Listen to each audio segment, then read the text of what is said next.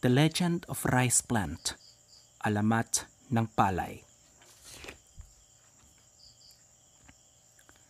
Long time ago, there was a barrio in central Luzon where the people were so hardworking in tilling their lands. They worked very early in the morning until late in the afternoon, and so Pale, the god of the land and plants, was so pleased with them that he gave them bountiful harvest.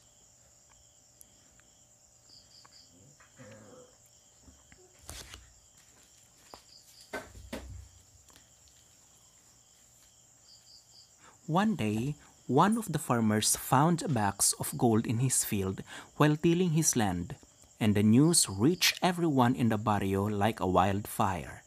Many envied his fortune, and so they also started tilling their lands, but not to farm as what they used to do, but to search for gold.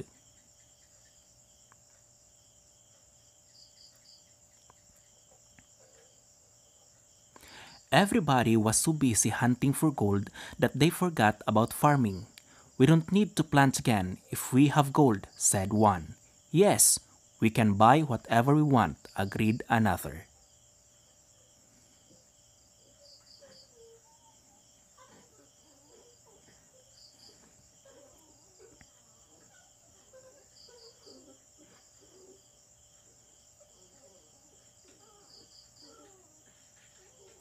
And true enough, everyone got his gold in his own land, but they were not contented. They craved for more. They even fought each other for those golds. This didn't escape from Pale's eyes, and he was so deeply saddened. He prepared punishment for the people to teach them a lesson.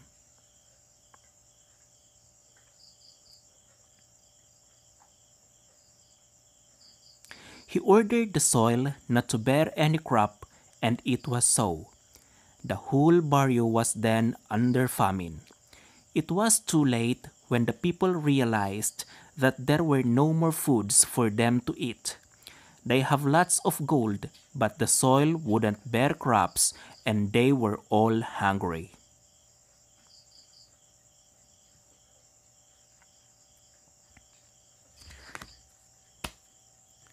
What's the use of our golds now when we couldn't buy anything? cried one. What should we do now? We will die if we couldn't find food, said another. We must call Pale. He can help us, suggested by one of the elders. Yes, Pale can help us. Let's call him now, everybody shouted. At once, they prepared an offering to Pale at the center of the field. When Pale heard them call, he appeared before them, saying, Your calls have reached me, and so I am here. What do you want from me?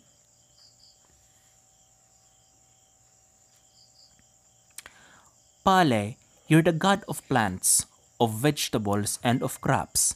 Please give us food, said the leader of the group. That was your punishment for turning your backs to farming.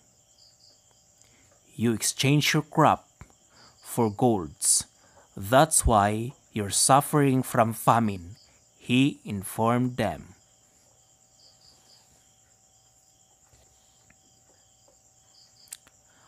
We were wrong, Pale. Please forgive us, pleaded their leader. Now you have learned your lessons. You should be contented on the life given to you and do not desire things which are not meant for you, he told them. What should we do now? Help us, Pale, an elder pleased. If you are really sorry and you want the land to bear food, you must give back to the soil what you have taken from it. Return the golds in the land, and it will give you food again, said Pale. Yes, Pale, we will do as what you said, all said in chorus.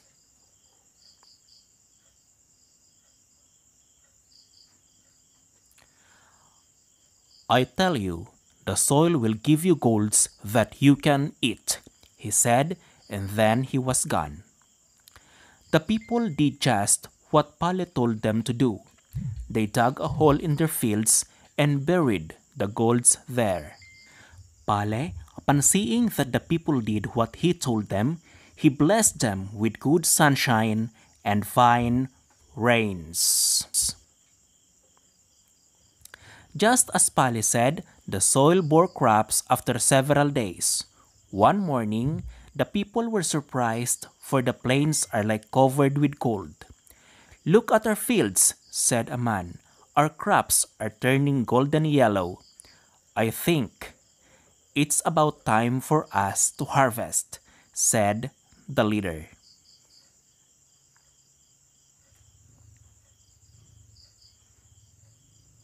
At last, we will not starve again.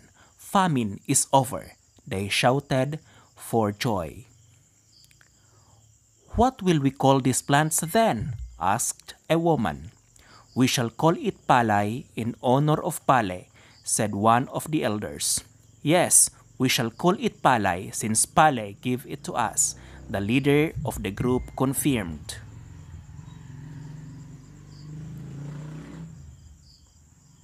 After the harvest, they offered a festival for Pale for giving them palay that saved them from famine.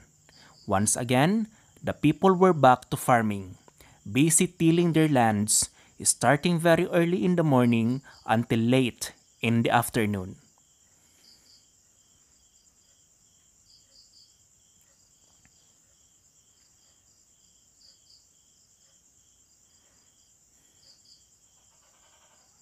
Thank you very much for watching and listening. Please don't forget to hit like and subscribe to my channel for you to get notified for my next stories.